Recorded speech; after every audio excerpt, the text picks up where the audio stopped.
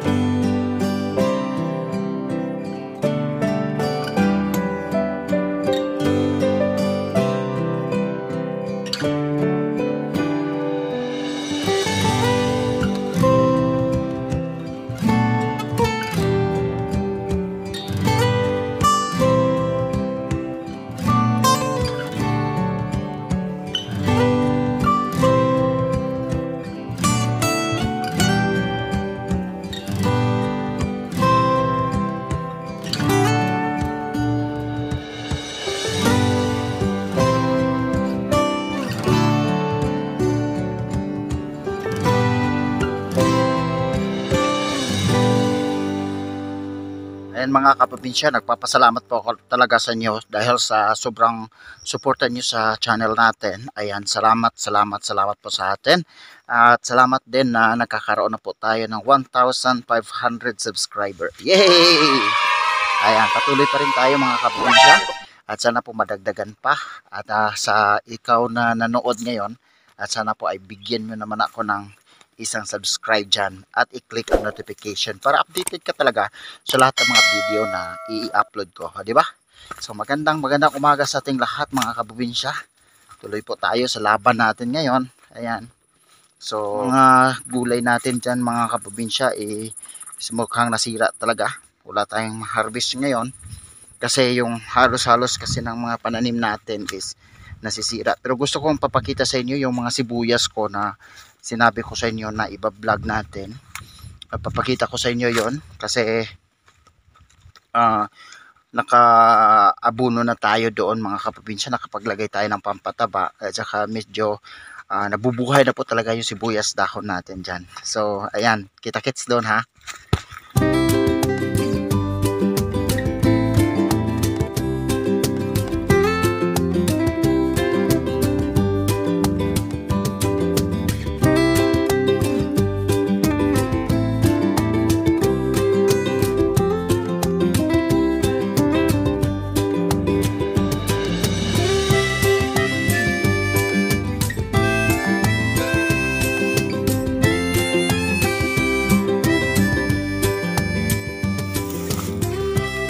Ito mga kaprobinsya, pinalinis ko. Oh.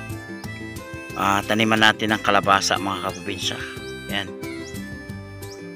Salamat naman at medyo to natuyo-tuyo na yung mga damo. Mga kaprobinsya, doon natin itanim yung kalabasa natin. Yung pinapakita ko sa inyo.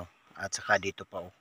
Malaki-laki ah, kaunti yung pinag ano natin, pinalinisan natin. So ayan. Tamnan natin yan ng kalabasa, yung Suprema F1 kasi yung Suprema F1 yan ay pinaka the best para dito. At saka napakaganda po ng ano yan ng bunga na yan.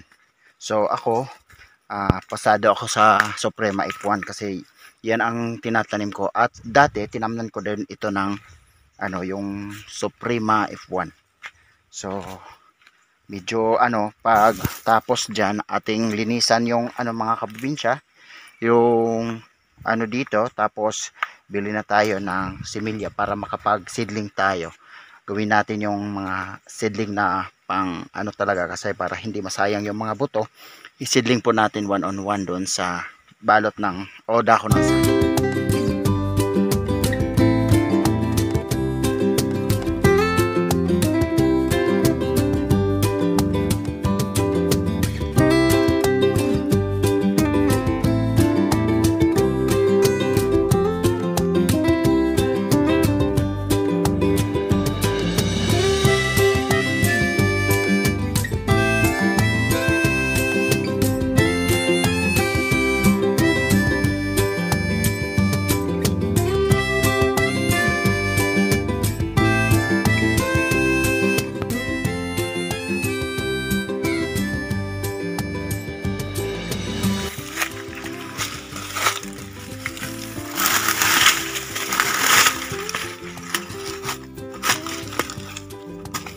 may hinog ng mga kabuinsya yung kakao natin. Nilagay ko lang dito yung kakao natin. Kasi balikan lang natin pag ano na para magiging buto na to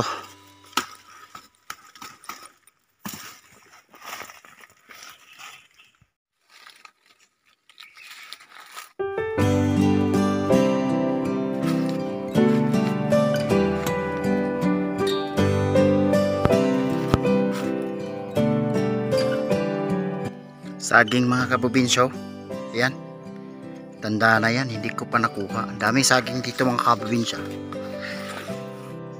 ayan pa oh mga kabubinsyo saka yun no yung saging dyan mga kabubinsyo pang ano lang yan.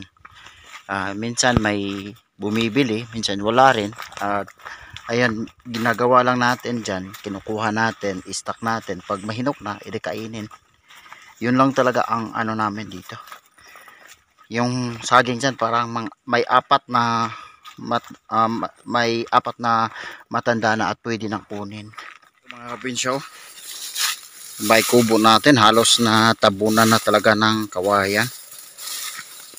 Buti na lang hindi natabunan yung ano talaga mga kapinsya yung may kubo natin hirap dito magdaan mga kapinsya kasi marami ng kawayan nakaharang ito yan talagang naano siya.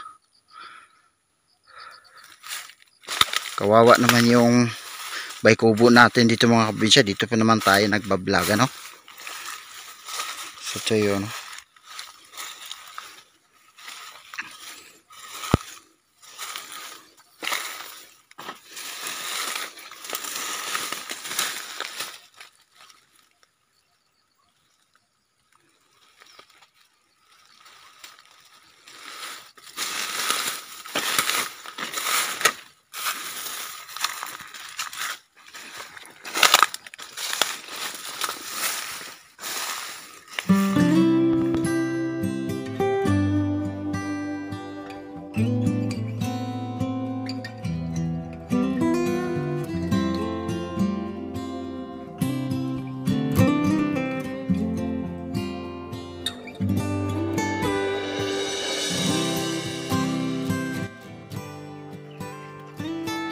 tayo dito sa ating tinatawag na ah, sibuyas. Dahon mga kapabidya